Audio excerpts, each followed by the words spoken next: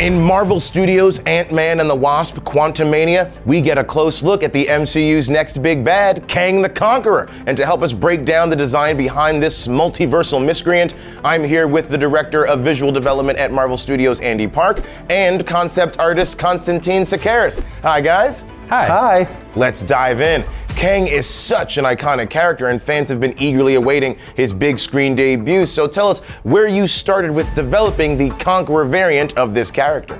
Whenever we're tackling any particular villain, when we're trying to translate comic into the MCU, we always do a deep dive into the comic books. Of course, starting off with Jack Kirby. Jack Kirby just had this design sense of just making characters look iconic, just very simple and bold. So this is our chance to come up with the classic look that we see from the comic.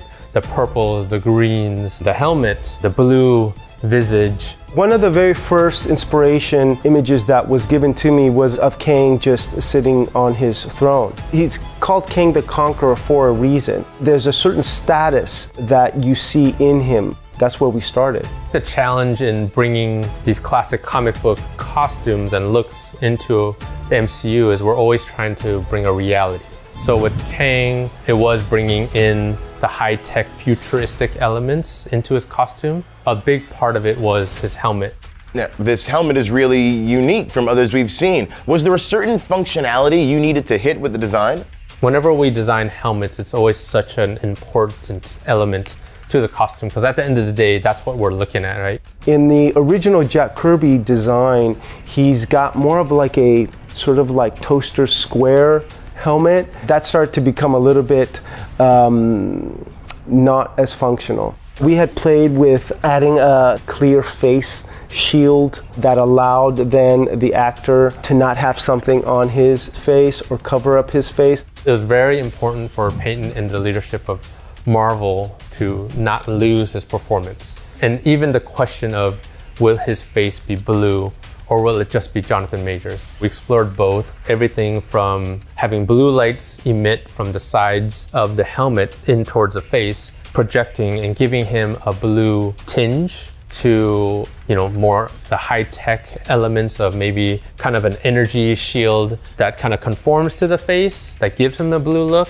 we explored a lot of different textures, different hues of blues. In the end, it was like, how much can we still see Jonathan Major's face without seeing the sort of like blue face shield? So in the end, um, it was just something very simple. Ah, simple but so very effective. Now, what other details did you focus on to help craft the narrative of Kang's backstory?